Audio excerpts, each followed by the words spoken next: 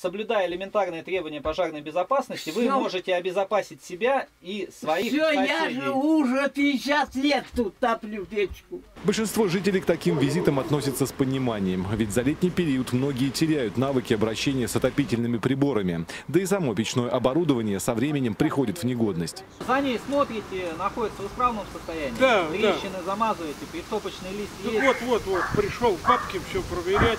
На территории Фокинского района ведется учет домов, э, которые эксплуатируются с печным отоплением. Данные дома находятся на учете сотрудников отдела надзорной деятельности профилактической работы. Да, с данными жителями регулярно проводятся беседы по соблюдению требований норм пожарной безопасности. Подобные рейды проводятся регулярно, а с приближением холодов работа в этом направлении ведется в усиленном режиме. Никого из нарушителей инспекторы в ходе проверки не наказывают. Рейд профилактический. Его основная цель – объяснить жителям, как уберечь себя от беды. Ведь в большинстве случаев причиной пожаров является безответственное отношение к безопасности самих домовладельцев. Дмитрий Кузнецов при содействии пресс-службы Главного управления МЧС по Брянской области. События Брянск.